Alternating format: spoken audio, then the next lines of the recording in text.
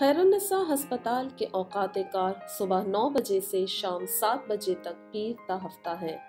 अस्पताल में खदमात के सिलसिले में टेलीफोन के ज़रिए भी रबता किया जा सकता है। ये नंबर दिए गए कार्ड और दीगर कागजात पर भी छपे हुए हैं और हमारी website vision trust dot P K से भी हासिल किए जा सकते हैं। अजराह करम ये नोट फरमा लें कि आपकी कॉल हमारे टेलीफोन ऑपरेटर दफ्तरी औकात के दौरान ही ले सकेंगे।